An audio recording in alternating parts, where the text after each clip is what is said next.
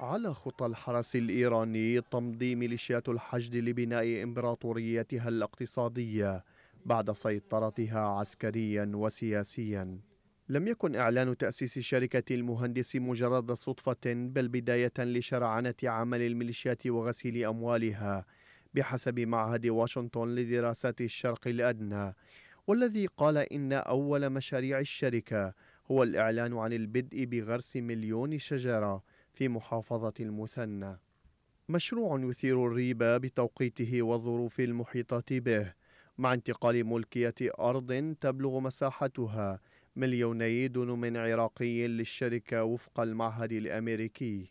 ما ينطلق به الحشد الشعبي اليوم من جهد لبناء هذه المزرعة التي تقوم على الانتهاء من زراعة مليون نخلة نسيجية في هذه المنطقة.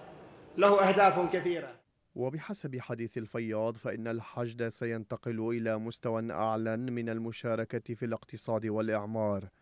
وهي نقاط تأخذ الميليشيا للهدف الذي تطمح له باستنساخ نموذج شركة خاتم الأنبياء التابعة للحرس الثوري الإيراني والتي تمتلك قدرات هائلة تفوق قدرات مؤسسات الدولة الإيرانية نفسها.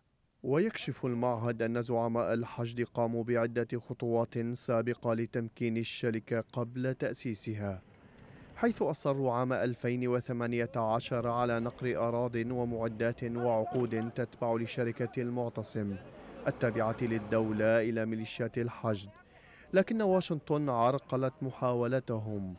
أما المسعى الثاني جاء في شباط عام 2021 حين لجأ الفياض ورئيس الأركان الجديد في ميليشيا الحشد أبو فدك إلى التهديد والضغط لتأسيس الشركة. لكنهما فشلا مؤقتا إلى أن تم لهم الأمر. في تشرين الثاني عام 2022 في عهد حكومة السوداني. ويقول معهد واشنطن لدراسات الشرق الأدنى إن غرس مليون شجرة قد يكون مبررا لإعطاء الحشد أراض هائلة.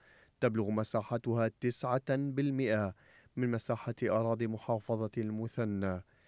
لكن غير المنطقي في القضية أن المنطقة المختارة تفتقر إلى الموارد المائية الكافية للزراعة بينما تتوفر خيارات أكثر عملية بين نهري دجلة والفرات. لكن الخيار العملي وغير المعلن بالنسبة لزعماء الحشد تمتع هذه المنطقة بموقع استراتيجي على الحدود مع السعودية وهي ذات المنطقة التي هاجمت منها الميليشيات سابقا بالطائرات المسيرة كل من الإمارات والسعودية.